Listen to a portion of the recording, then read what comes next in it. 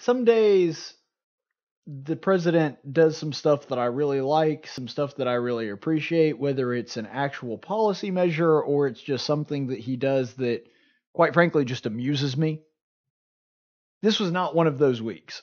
In fact, looking back at the week, especially, this was a very bad Trump week. If, you got good Trump and bad Trump, this was definitely the bad Trump. This was the Mr. Hyde week for the president. And a couple reasons for that. First of all, Trump said that he was strongly considering commuting Governor Rod Blagojevich's 14 year prison sentence.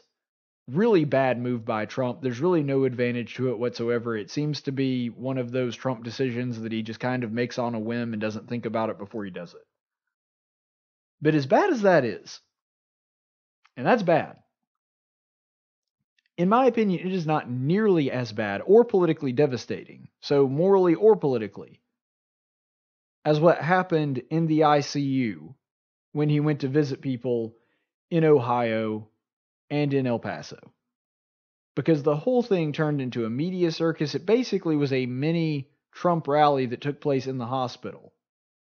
And look, if he had just shown up and he showed up with a camera crew, Trump can't necessarily, the guy can't control what the crowd does. Like, if Trump goes to a place, even if it's something like this that needs to be somber and serious, and he needs to adopt that mantle of presidential authority and wear the office in a respectable way, Trump can't necessarily affect how people react to that.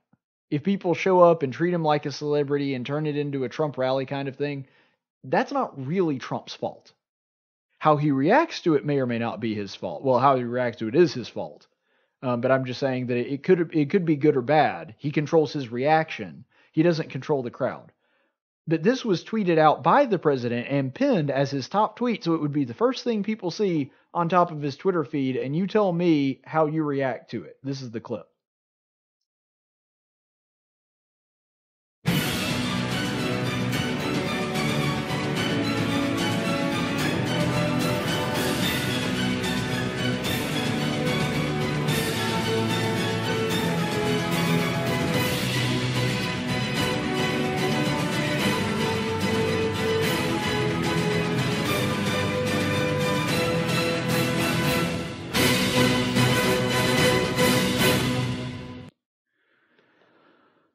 My gosh. That that's not just a pile of crap. That is an entire mountain range of crap.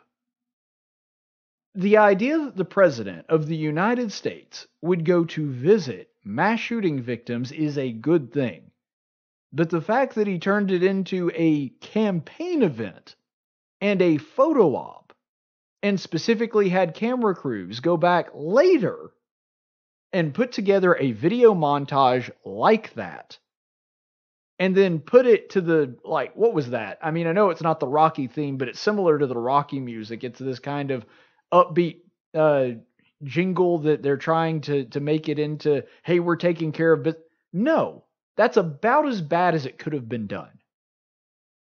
I mean i don't know how it gets worse than that.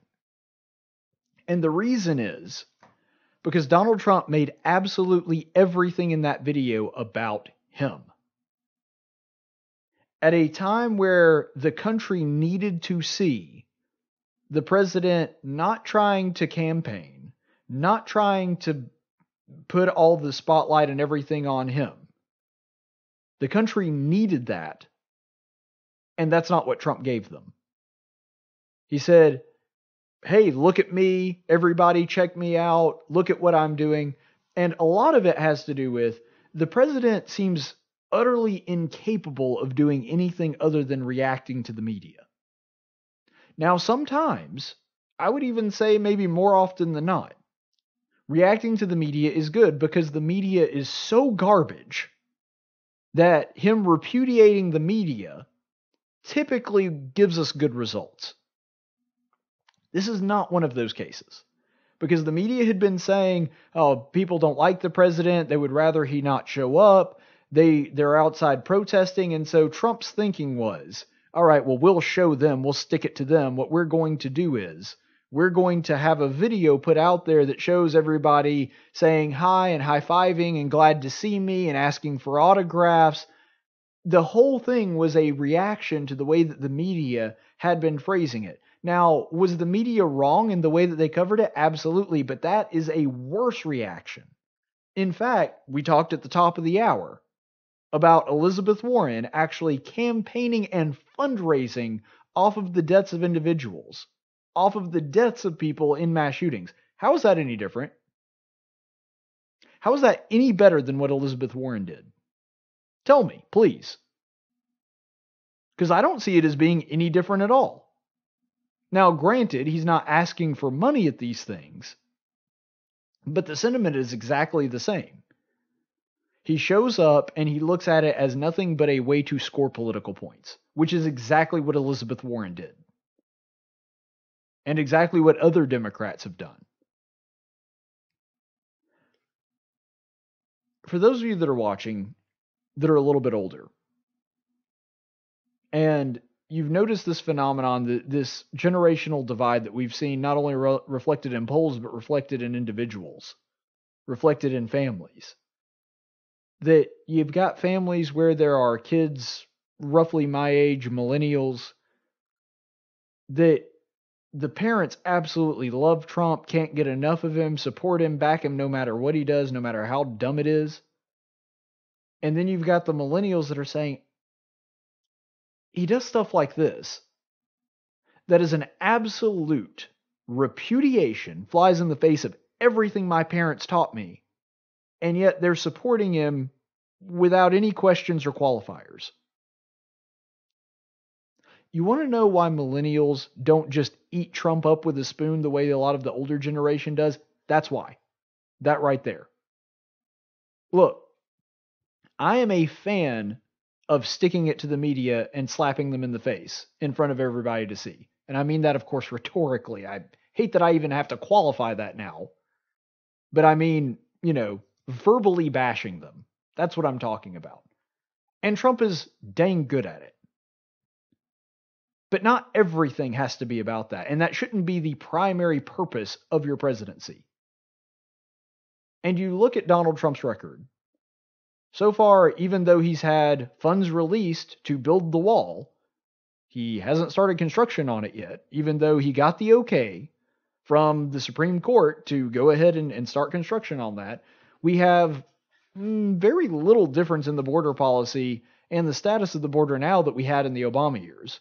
We've got higher deficits, higher spending, more spending than Obama ever dreamed of. I mean, do we have a really great Supreme Court justice in Gorsuch and I guess an okay one in Kavanaugh? Yeah, I'll give him that. Moving the capital of Jerusalem to Israel? Yep, should have done that 30 years ago. Trump gets all the credit for that. But is that it? I mean, got a booming economy. Trump has had something to do with that. I'm not saying that the guy has been an absolute abysmal failure, but I'm saying, are you really willing to put up with garbage like that? I mean, an absolute dumpster fire for a handful of policy initiatives? Because I got to say, and I actually was thinking earlier this week, contemplating to myself, if the election were held today, would I vote for Trump? And I was seriously considerate because you all know I didn't vote for him the first time because largely because of his moral failings and because of the kind of person that he is. And I thought about it, I was like, you know, he's done a lot more good than than bad in terms of I thought that he was going to be basically Hillary Clinton light, and he wound up being a lot more conservative than that. But eh, it's hard to put up with garbage like this. When the sole purpose of the man's presidency seems to be to bolster his own ego and to put himself first, and that even when you're dealing with victims of a mass shooting, the guy sees it as merely an opportunity to bolster his own popularity. America deserves a better president than that. They just do. We do. And I don't know that even if he had this job for another three decades, that we would ever get that from President Trump. America deserves better. And we're dealing with this guy.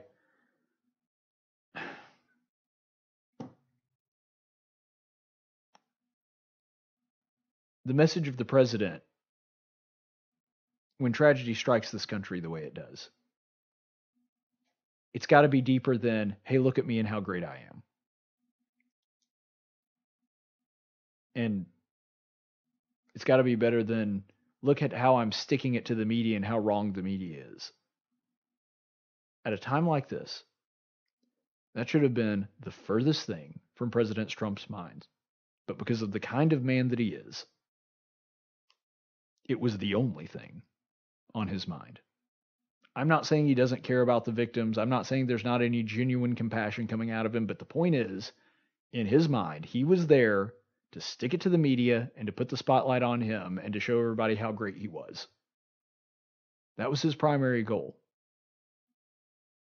And that kind of level of pride, I can't even deal with thinking about somebody in the White House that actually believes that. You remember you remember the story of the good Samaritan.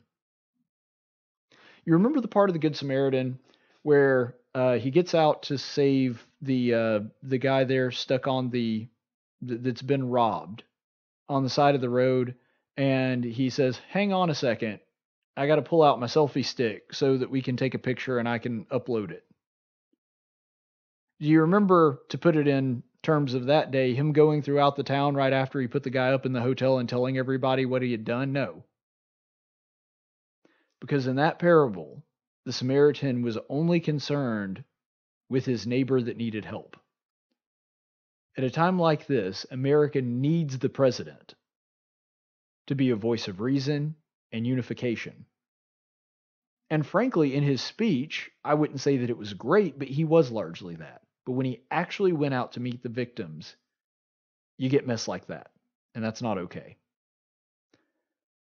It's the same thing with you'll remember the story about the Pharisees and the rich people that were giving out of their alms and giving in abundance, and they were making a big show. They would go up, and it was almost like the, the sort of idea that is given from that passage in the Gospels is that these people were going up and, and basically giving like you would give to the telethon where they've got the big video board and hey this is how much i'm giving and then you've got a poor widow who throws two mites in doesn't make a big show but she's the one that actually sacrificed to do the right thing trump can't do anything seemingly without making it into a production, making it all about himself and his own greatness. He wants to make it a temple, a testament to the greatness that is Donald Trump. And this video is Exhibit A. He seems utterly incapable of doing something good unless the main takeaway from it is how much credit he's going to get for it. And the country just deserves a better leader than that. This video is essentially every bad thing about Donald Trump rolled into one.